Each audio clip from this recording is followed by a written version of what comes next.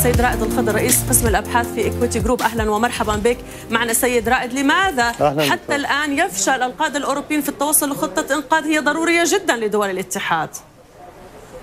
الانقسام من واضح داخل المركز داخل الاتحاد منطقة اليورو والاتحاد الأوروبي على وجه التحديد وهو الانقسام ما بين الاقتصاد وما بين آه، الإصلاح. بالتالي نحن نتحدث عن دول مقتصدة تبتعد عن أن يكون هناك استثمار وبذخ ونوعا ما آه، آه، يعني صرف غير مرشد للدعم المالي الذي قد يقدمه هذا الاتحاد الأوروبي وعلى رأسها هذه الدول آه، هولندا والدول الشمالية بينما الدول الجنوبية التي تحتاج بشكل ماس آه، لحزمه انقاذ وأن لا يكون هناك شروط تقييد لكيفية استخدام واستهلاك هذه الحزمة.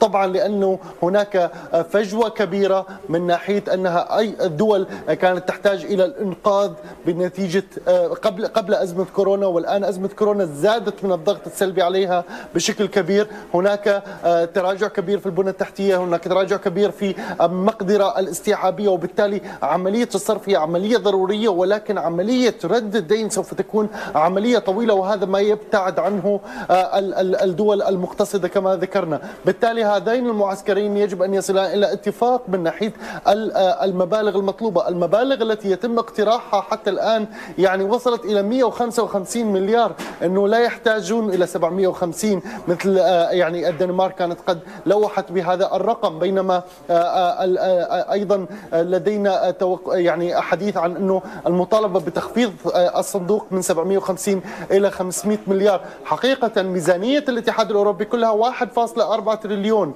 يتم تخصيص 50% منها للصندوق يعتبر كبير وكبير كبير جدا ولكنه ضروري بالآونة الحالية آه، وعلى ضوء ذلك اليورو آه، نعم. يرتفع لأنه إذا ما كان في اتفاق يعني لا يوجد تيسير لا يوجد تحفيز طب. للاقتصاد وبالتالي كعملة يورو آه، ترتفع أمام الدولار طب إلى أي حد تعتقد أن المركز الأوروبي يجد في ذلك تسويف وتأخير في كل مساعي أنت تعلم أنه هو خالف حتى التشريعات المنوط له بها يعني هو لديه مهام خاصة المركز الأوروبي ومع ذلك خرج أكثر من هذا الإطار بعمليات التيسير كمي وأكثر من قرابة تريليون و350 مليار يورو هو يعني يضخها في الاقتصاد قام بشراء قروض الحكومات وغيرها من الأمور مجازفة كبيرة جدا، إلى أي حد تعتقد إنه فشل خطة الإنقاذ أيضا سيجعل من المركز الأوروبي الداعم الوحيد حتى الآن لدول الاتحاد؟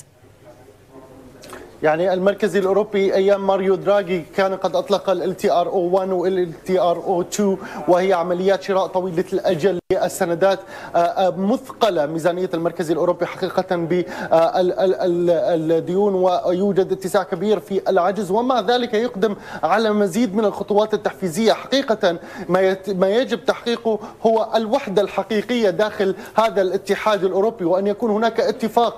يعني آه، لابد من بعض التضحيات بالنسبة بالنسبة لبعض الدول آه، الشمالية مثل آه، آه، الإسكندنافية على وجه التحديد هي التي تعارض وبشدة هذه الاتفاقات وهي التي تعرقل حقيقة في الوقت الحالي نعم. مقابل أن يكون هناك التزام أكبر أيضا من الطرف الآخر وهي الدول حقيقة المتعثره بالديون إيطاليا إسبانيا بالتأكيد. متعثرة بالديون ويوجد صعوبة في سدادها في الفترة القادمة لكن المبالغ ضرورية في الآونة الحالية لدعم الاقتصاد وإلا سوف يقف المركز الأوروبي لماذا هو متضرر؟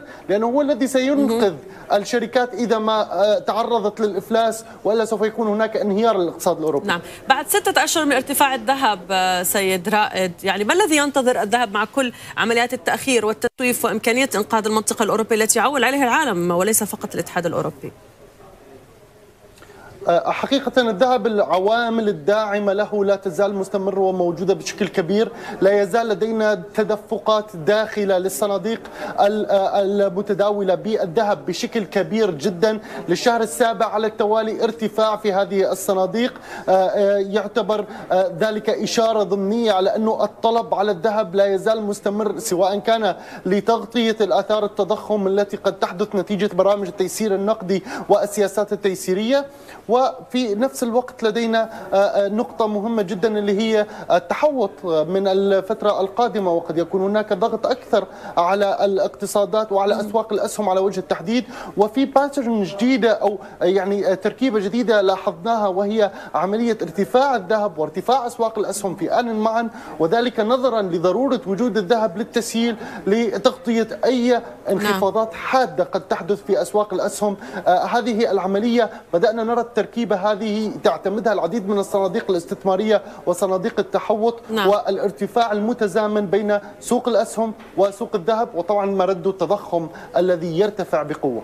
نعم يعني ونتوقع أيضا للسوق الأمريكي افتتاحية اليوم على خلفية نتائج الأعمال IBM أيضا من ضمن حزمة هذه النتائج.